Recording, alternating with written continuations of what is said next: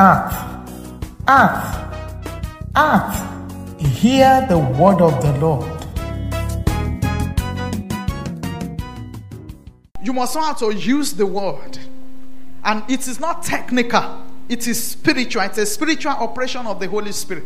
Part of the ministry of the Holy Spirit in your life as a believer is when you take the word, it comes to bring interpretation, it comes to help you in application, applied word. You know, applied physics, applied chemistry. There's applied word. And that's the ministry of the Holy Spirit to teach you this how to apply this. So if you have cancer in your body or there's something that is eating up something, because you may not have your enemy. Say, when my enemy, did look at that verse 2 again. When the wicked, even my enemies and my foes came up, came upon me to do what? To eat up my flesh. Anything that wants to eat up your flesh, literally. You should speak to it to stumble and fall. That is the word of the Lord. But if you don't speak, it will continue to eat your flesh. And your flesh could mean your husband. It could mean your wife. You know, is your flesh is your bone. Flesh of my flesh, bone of my bone. Something is getting on your husband, is getting on your wife. Your seed is your flesh, it's part of you. Your son, your daughter. You understand what I'm saying? Anything that is part of you coming up to it, said they stumble and they fall. But what will suddenly cause them to stumble and fall? Because there is somebody releasing some fire, spitting fire, spitting some arrows, shooting some arrows releasing the word of God against against them. When, when, when you are loaded with the word, prayer is exciting.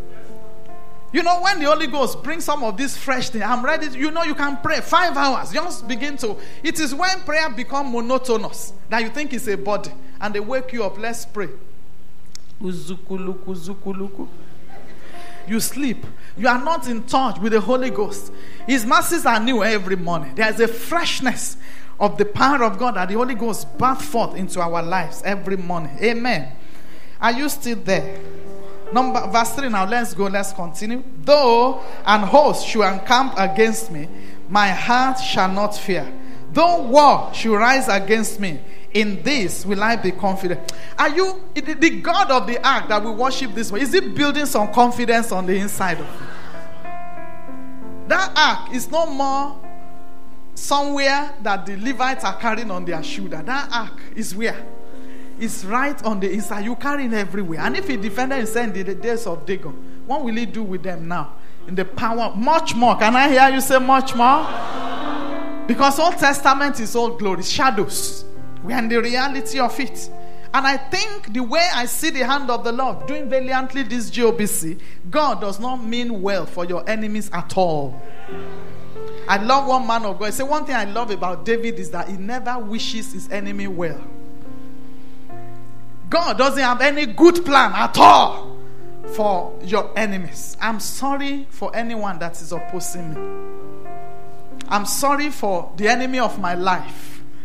Because in these eight days, I see the hand of the Lord doing valiantly against every enemy of the dream city, against enemy of your life, against every enemy of your marriage, against every enemy of your finances, against every enemy of your health.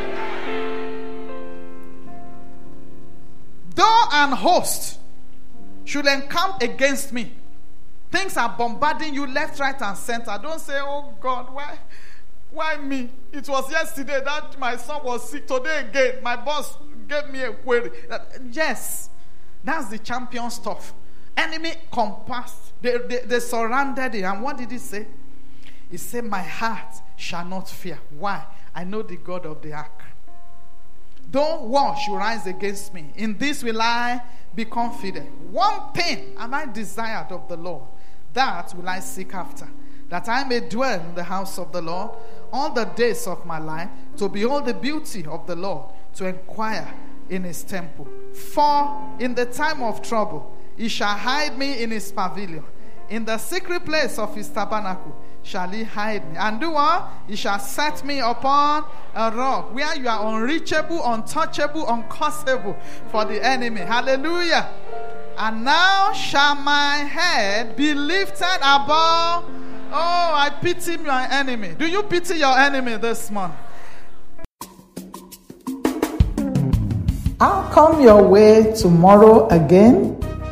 And don't forget, read your your Bible to know God more.